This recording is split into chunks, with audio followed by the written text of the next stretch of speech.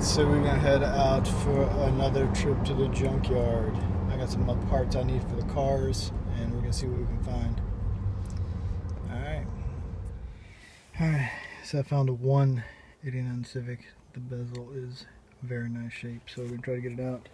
I also got full brake for the front of my uh, the brake system, whole arm and everything, rotor for the 2000. We're gonna try to get this out now.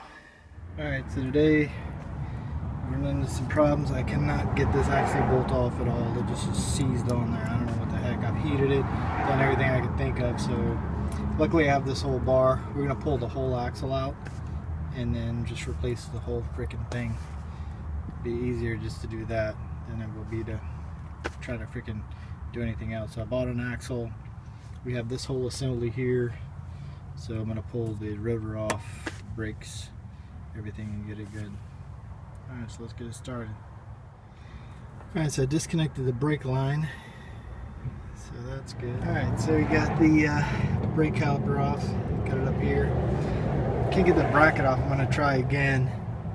I'm trying to use this bracket, but to pull the brakes off next, and then the rotor should come out if I can get it off. So brakes. We're gonna put these over here. So I just gotta get this bracket off so I can get the disc out, and then uh, we're gonna loosen up. I've got all the bolts. These this is loosened. Pull the pin out of that. That's loosened. The bolt on at the bottom is loosened right here. So we're good to go. Now I just got to get this off so I can get this off. Alright. Alright, so we got everything off. Got the caliper off. Got all the other stuff here. Brakes, everything's up here. Gotta break these loose down here. And then we can try to yank this thing out. See if we can get it out of here. Alright, so I had to go buy one of these. Put up under that ball joint. And, uh, pop it out. So now everything is loose except for this. So I'm gonna get up under there, pry that freaking thing out, and I'm gonna drop this axle out. Alright, and we have success. So this is off. Now I'm just gonna take out this bolt, drop this sucker out of here, get the new one out of the box, we'll lay it up here and get it ready to go on. Alright, so I think this is, I'm going to end up getting new new tie rod ends here soon. So this actually was pretty easy to pry out. You just basically, there's a spot right here on the transmission, which you can just put a little pry bar and pull it, pops right out. Should come out pretty easy. Alright, so I got the new axle out. Looks good. It's the same size, it's just a little different. Um, this is the one that has the little thing where you can, like I don't have ABS, but that's what it's for, it's for ABS. So apparently, no matter what you buy, they always freaking give you the same one. It doesn't matter, but it's all good. It'll fit. It'll work. Who cares? I know I have ABS, but it doesn't matter.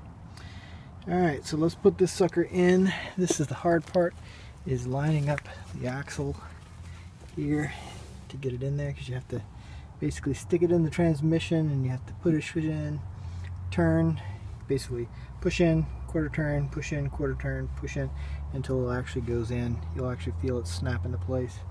And then we'll get everything else put back together. I just stuck this in here for right now. Put this over here.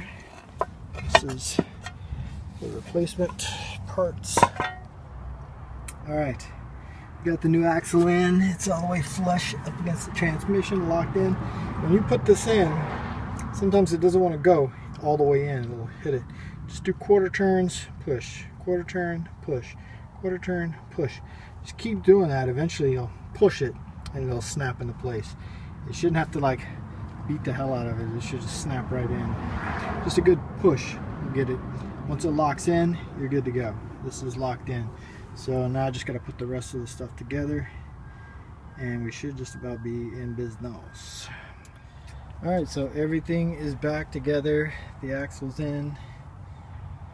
Definitely once you get everything done, you gotta um, basically torque this down 180, 180 foot-pounds. Um, hit the edge of this and bend it in. I haven't done that yet because I got to take this back off. I got to get tie rod ends. So these tie rod ends are freaking done. Um, I'll just go ahead and get those. So other than that, everything is rebuilt. It's uh, good to go. So tie rod ends, a couple other odds and ends, and uh, we're done. I'll put the tire back on and go order those parts.